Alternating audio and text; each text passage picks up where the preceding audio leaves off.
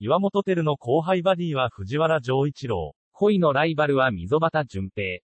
恋する敬語24時、豪華キャスト発表。岩本照、スノーマンが主演する2024年1月期放送の恋する敬語24時、テレビ朝日ドラマに、藤原丈一郎、何わ男子が岩本のバディ役で出演することが分かった。合わせて、溝端淳平、吉谷彩子、本野博樹、大野武彦、松下由紀ら追加キャストも発表された。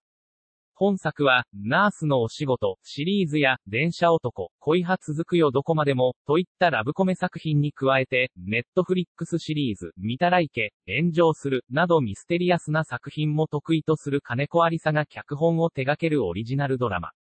演出は、鈴木康介と蓬莱忠明が担当し、事件の謎をめぐる考察に、アクション、恋愛要素を盛り込んだ作品となる。岩本が連続ドラマ初単独主演を飾り、主題歌は、スノーマンの新曲、ラブトリガーに決定。ヒロインは白石舞が務める。